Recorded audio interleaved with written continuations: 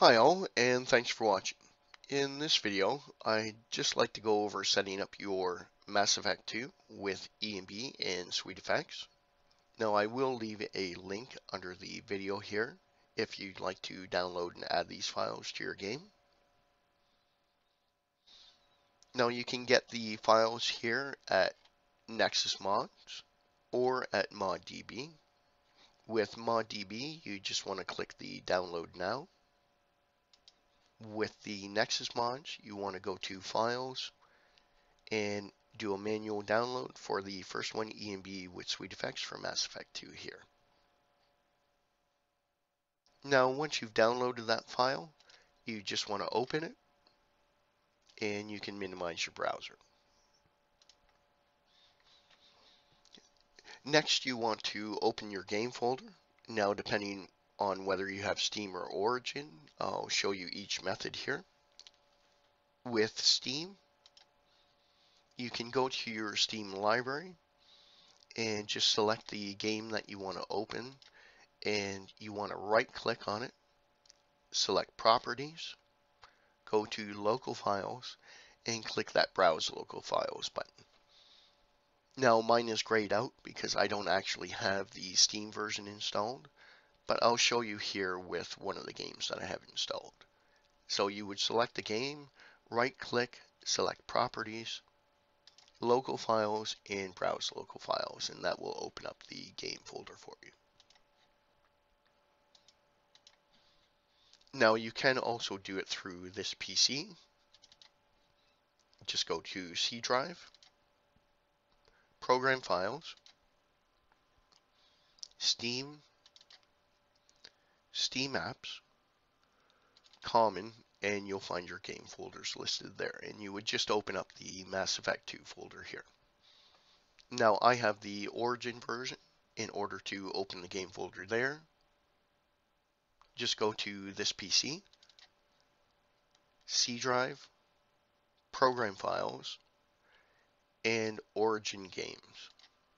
And in the Origin games folder, you'll find your game folders listed here and you just want to open that Mass Effect 2 and then you actually want to go to the binaries folder.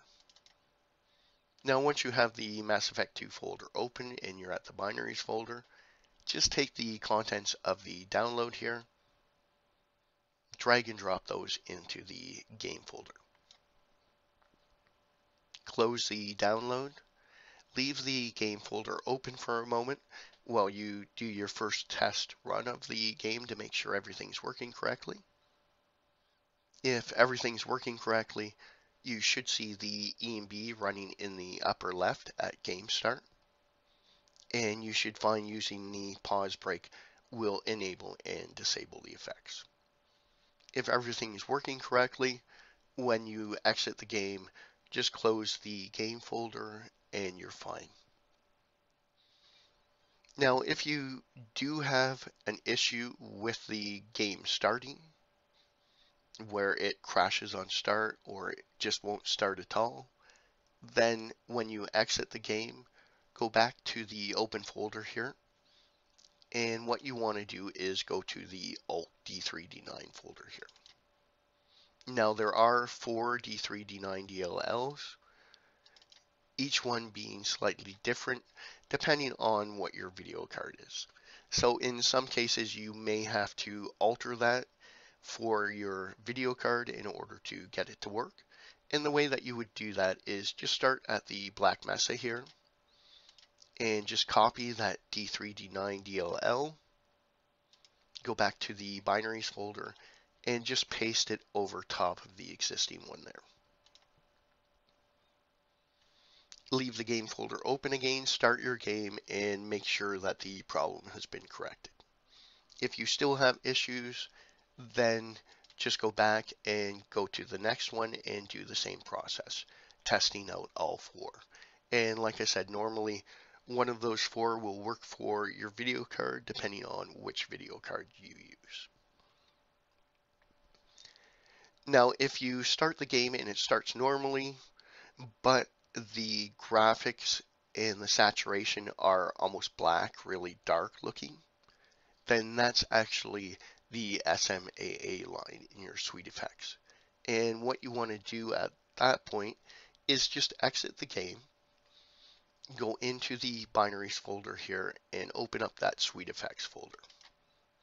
Go to the presets and the Mass Effect 2 settings text here.